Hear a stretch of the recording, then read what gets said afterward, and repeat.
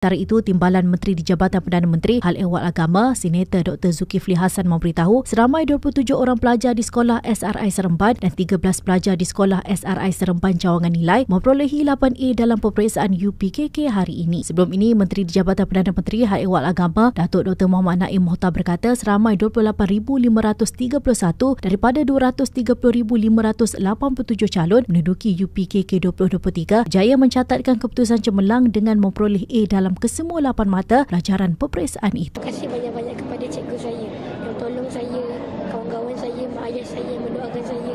Saya begitu sangat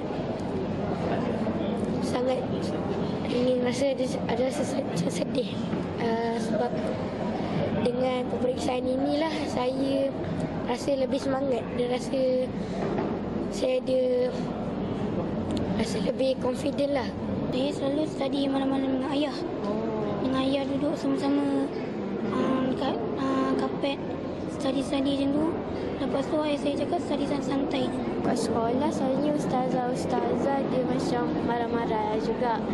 Sebab saya tak tak fokus sangat selalu. Sebab saya dah belajar dengan ibu saya setiap malam. Oh, selalu, selalu tidur ke satu pencapaian semakin meningkat dari dari masa ke semasa. Dan uh, di antara kelebihan beberapa sekolah ini adalah uh, mereka mempunyai uh, support system yang yang yang menyeluruh uh, di mana ianya dapat mewujudkan satu uh, uh, environment ataupun suasana yang baik pembelajaran yang baik.